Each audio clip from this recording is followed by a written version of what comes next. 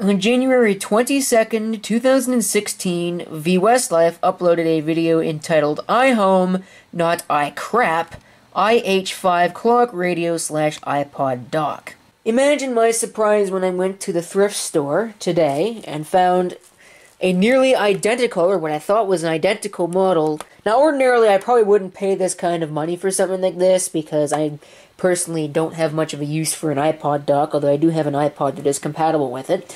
And we might even try and test that out, although there isn't any music on that thing. If we take a look here, you can see that this is actually the iHome IH6. I'm not quite sure what the difference between the IH6 and the IH5 is. Maybe it's the external antenna that comes with this, I'm not quite sure.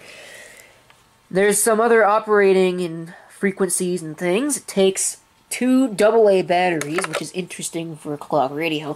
What's even more interesting is it looks like they're put in there. You put them batteries in the same way. That's what I'm trying to say there. But uh, there we can see information. Various things having to do with it. If VWestlife is still looking for a power supply for that, or is wondering about that, this is what it looks like. Massive freaking brick. That's what this is. Uh, held together with Phillips head screws. There are three of them.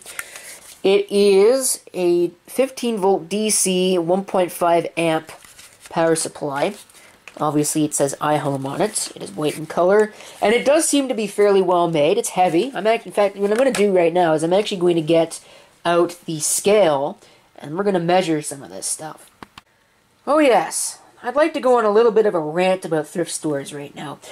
They try. They really do. They try really hard, but the problem is is there are still people at these stores who, you know, put things on the shelves and price them, who seem to think that it is in their best interest to take, if they get something, I don't know, if it's brand new in the box, they'll take the box and the manuals and they'll throw all that away because nobody reads manuals and nobody keeps boxes anymore. And they'll take, like, power supplies, remote controls, even antennas if they possibly can, and they'll take it and spread it all over the store and have different price tags on it. I don't know why they do this.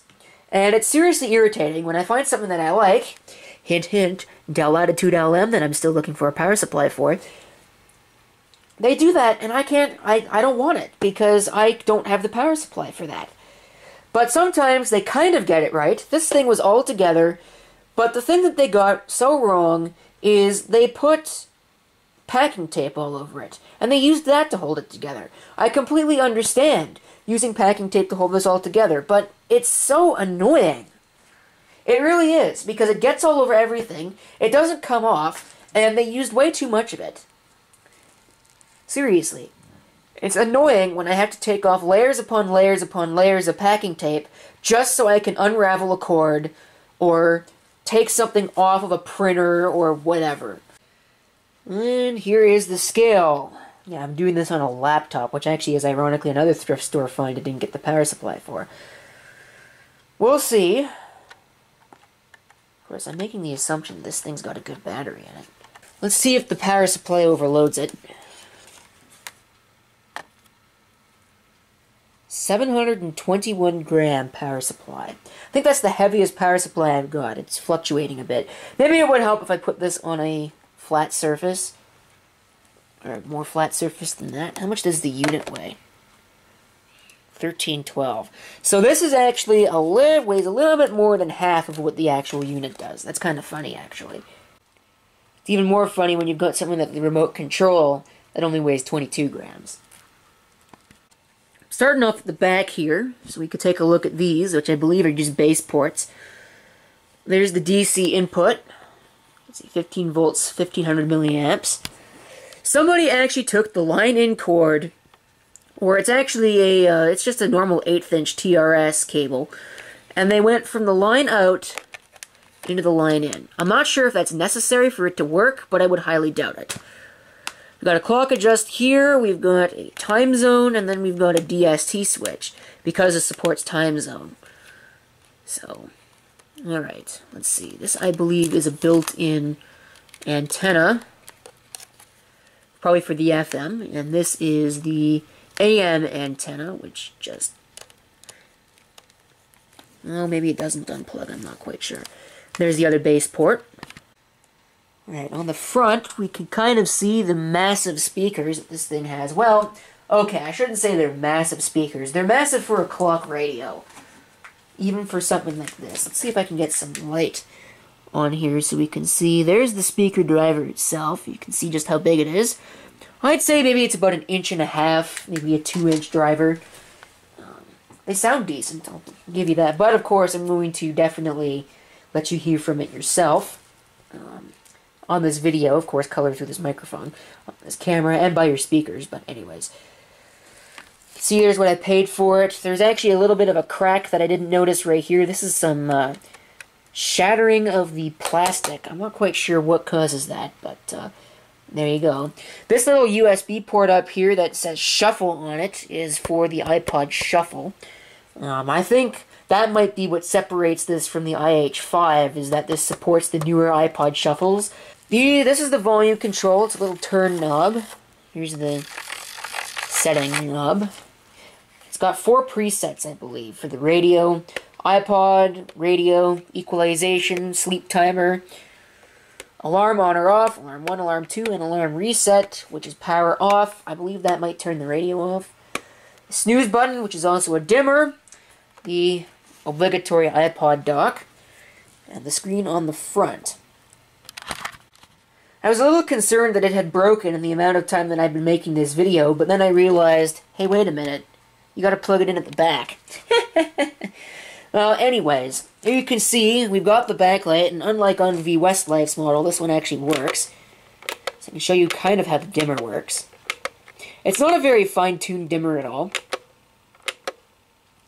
I mean, that is on right there. I'm not sure if the camera will pick it up, but the backlight is on, just barely. I can't see it. That's as bright as it goes. That's a blinking battery symbol. I'm not quite sure why it looks broken, but it does. So I'm going to probably put some batteries in this. Um, but uh, anyways, oh, I wanted to show something else that I just noticed now. Uh, well, I'll do it at the end of the video. Uh, but we can go ahead and turn on the radio. We can hear it.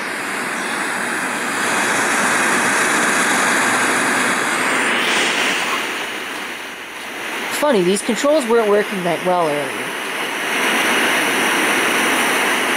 Oh, they're kind of jumpy.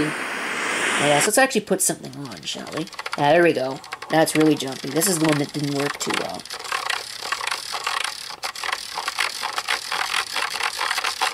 you can probably tell I'm fighting with it.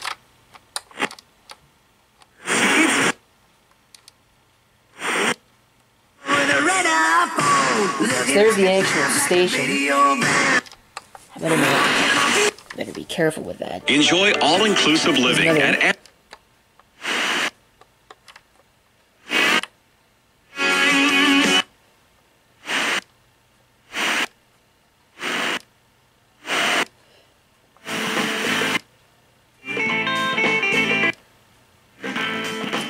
Where's the remote control?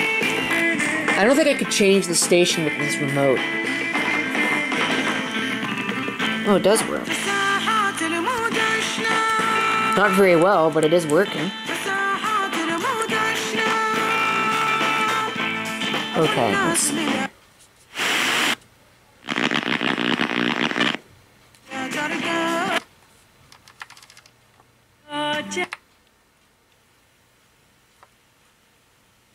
Silence. That's interesting.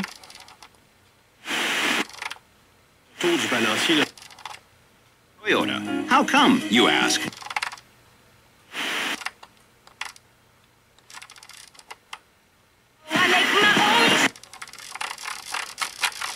So you can probably tell that the control up here is not all that great. And I don't think it's because I'm doing something wrong. Anyways, let's see if I can turn the radio off. Yes, that's how you turn the radio off. And on. You can do it with the remote control or the power off button. On the clock itself. Uh, I should probably demonstrate an alarm and see if I can get that to work. Something's just a little bit off with that. I'm trying to set the alarm and I can't quite figure out how to do it. So I've been doing some looking into this, and it looks as though it does not have the ability to wake to a beeper, it just has the iPod and the radio. It just has the beeper in the back for certain other characteristics. But let's turn on the EQ here. This doesn't have the best controls in the world. With Ottawa Gatineau's greatest hits. Boom 99.7.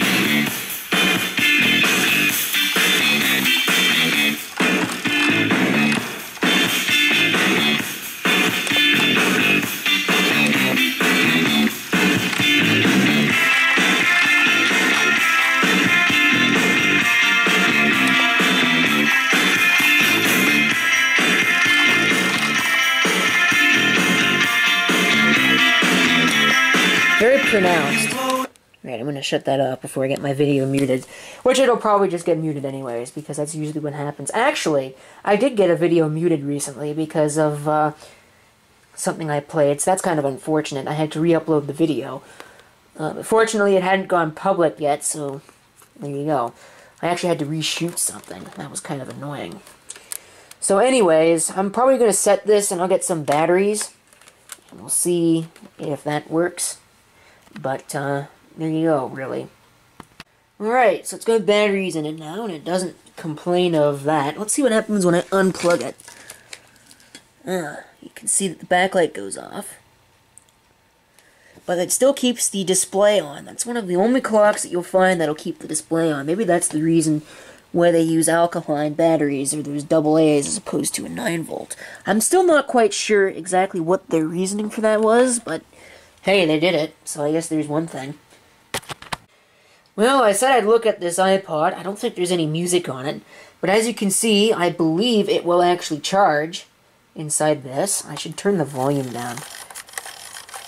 I can't turn the volume down. It won't let me do that. Oh, yes, it will. Okay, so we've got it in iPod mode now. It is charging. So let me unlock it.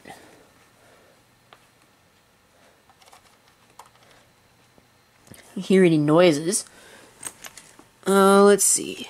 I don't think it's got any music on it. I'd be very surprised if it did. Yeah, no content. Okay. Well, I'll have to see if I can get something to work. Well, I can get this to work.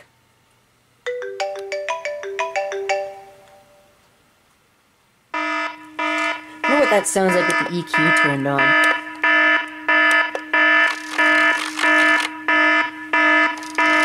That's not nearly as impressive as I was expecting.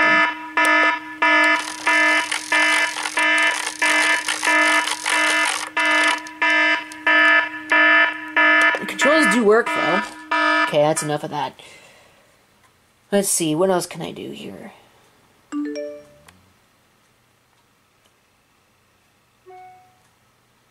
I haven't really customized that.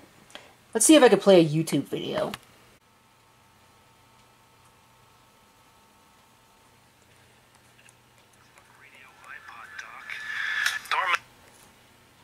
these because I don't have any iPod or anything that would be compatible with that dock there. But I remember seeing a video by YouTube user Stereo Dust Particles about a similar iHome clock radio. I think his is a slightly newer model, but this one is pretty similar. It's the IH5, and uh, I remember the one he reviewed had very nice sound through its built-in speakers and had pretty good reception. So I decided to pick this one up. It was only five dollars. It's slightly yellowed. You can see the color is supposed to be right there. It's supposed to be just white, but it faded.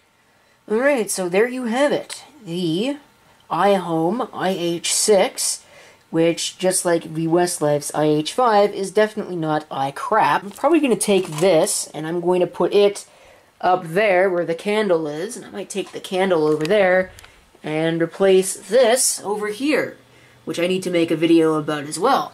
Thank you for watching. If you have any comments, feel free to leave them down below. And uh, this is CP666 signing off. I hope to see you next time. Till then.